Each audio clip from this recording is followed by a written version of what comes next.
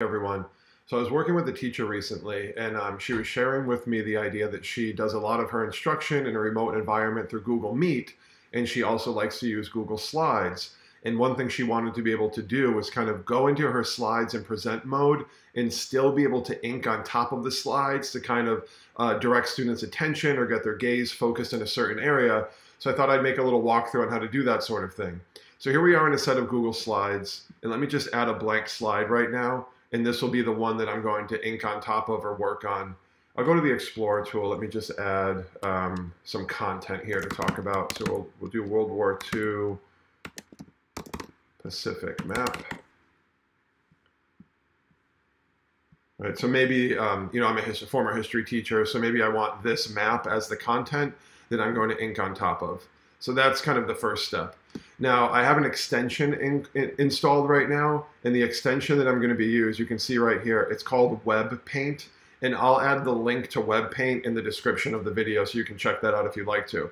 So Web Paint is installed. I have my slides where I'm ready to go, and what I'm actually going to do right now is change the URL of the slides to get into present mode, but not go full screen present by tapping on the present button if I tap on the present button, I lose my browser and I lose the ability to turn on my extensions.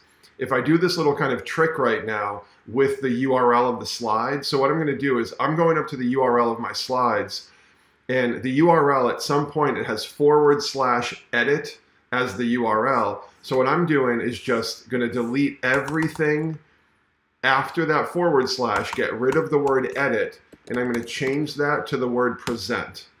And the reason why I'm doing that is now I'm in present mode, but I still actually have access to my Chrome browser and all of my extensions. So with that, let's jump over to a Google Meet. So now we're in the Google Meet. I'm going to join this as if my students were kind of rolling in here. Kind of close that out. And so now what I'm going to do in the Google Meet is I'll go to present, right? So in the Meet, I can just present the one tab that I'd like to use. So I'm presenting that one tab, and here's the tab I'd like to run and present right now. So I'm presenting this tab in Google Meet so all my students can see it, but what I can also do is access Web Paint, right? So I'm tapping on Web Paint. You can see that that pops up right away. So as I'm now advancing through my slides, so I'll close out Web Paint, I will advance to slide two, for example, and if I want to talk about what's going on on slide two, like no problem, I can do that by, hold on one second here. I'm going to open up Web Paint, tap on my inking tool. I can adjust the size, I can dictate the transparency, pick the color, and now what I'm able to do is ink on top of these slides in real time.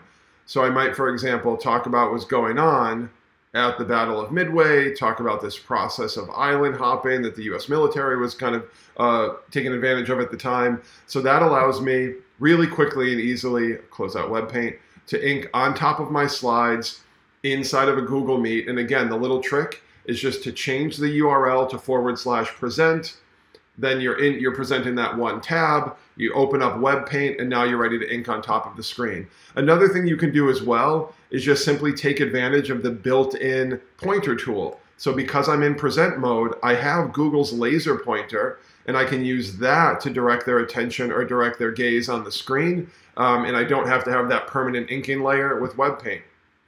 Let me jump back to my slides for a second close out this Google Meet and we'll kind of jump back to that process we were working on. So I hope this um, little quick walkthrough was helpful. I hope, hope you have a, jump back here, hope you have a really clear sense of what you'd be able to do with your Google Slides. Again, just check out the URL, look for forward slash edit and change it to forward slash present. Get rid of everything after the word edit. Jump over to your Google Meet, share that one tab, open up Web Paint, that Chrome extension. Again, that will be linked down in the description. And then you're ready to ink right on top of your slides inside of a Google Meet. So I hope this video was helpful. Don't forget to subscribe. I'll have a bunch of videos, hopefully multiple videos a week. And just stay tuned and I'll see you in the next video.